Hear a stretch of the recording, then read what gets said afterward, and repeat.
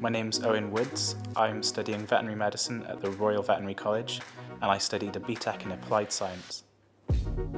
My BTEC prepared me really well for university. It was very practical, very hands-on. We did loads of experiments, loads of practical sessions that all really helped for the practical learning that we do here at the RVC.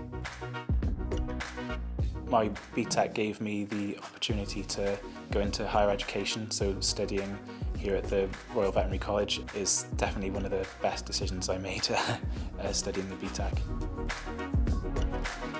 So I won the Outstanding BTEC of the Year award in 2016. It was really nice to get some recognition for my hard work and it was also really nice for, for my family and my teachers who had support, supported me through uh, college. So I'm definitely really passionate about the BTEC and how it broadens opportunities for people who may have struggled to get the qualifications academically. It definitely suited my learning style with applying everything practically and I've met quite a few people who have had their lives changed for the better with the BTEC. I choose BTEC